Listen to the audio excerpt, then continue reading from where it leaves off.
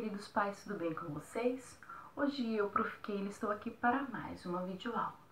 A nossa aula de hoje é a cesta, a cesta do tesouro, que tem como objetivo desenvolvimento psicomotor, coordenação motora, mão, olho e boca, concentração, observação, liberdade e autonomia, tato visual, audição, o olfato e o paladar. Aqui eu preparei um cenário, né? Mas vocês em casa podem estar colocando um tapete diferente para a criança ir observando que naquele momento vai ter algo diferente. Coloca um tapete bem bacana. Aí vocês montam a cesta do tesouro antes e depois vocês vão chegar e vão fazer assim, ó. Barulho, bagunça. O que que tem nessa cesta? Vamos olhar o que tem nessa cesta para a criança ficar curiosa. Vamos sentar com o papai e com a mamãe para a gente ver o que tem nessa cesta? E vocês vão colocar a cesta e deixar a criança explorar.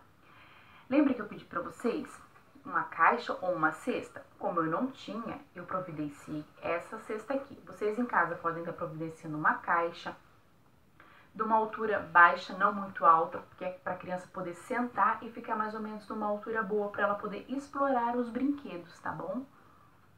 Aí vocês podem usar da criatividade, igual aqui eu coloquei uma peneira, uma escova, ursinho, vocês podem estar tá colocando outros brinquedos. A pinha, ó. Eu peguei até utensílios de cozinha, ó, pra criança ir. Ó, e lembrem, tem que ser brinquedo que não machuque a criança, objetos que não machucam. Quando a criança for pegar a pinha, deixa ela explorar, mas fiquem de olho, porque pode acabar machucando. Aqui eu também peguei um copinho de plástico, potinho, vários outros materiais, ó. Pra criança aí ficar curiosa para ver o que tem dentro, explorar. Pode até pegar um controle velho, bolinhas, capinha de celular que não utiliza mais, várias outras coisas. Você pode estar utilizando e colocar nessa cesta para a criança ir observar e deixa a criança à vontade para ela pegar, para ela explorar da maneira que ela achar. Vocês vão notar que até eles explorarem essa cesta, eles vão ficar um bom tempo ali tentando verificar, ou vão colocar na boca, vão jogar para um lado, vão jogar para o outro, mas eles vão se interter bastante tempo, vão ter uma concentração maior nessa brincadeira.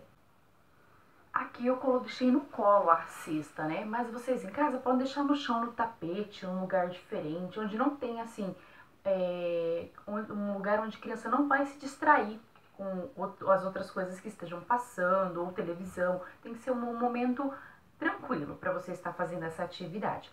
Outra dica também, vocês podem observar no decorrer da semana é, algum, algum brinquedo que a criança chama mais atenção, que a criança brinca mais e colocando nessa cesta.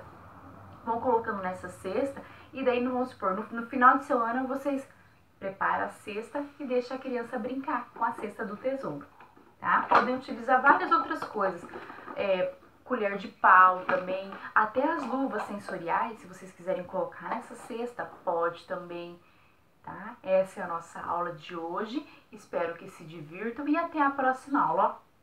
Um grande beijo!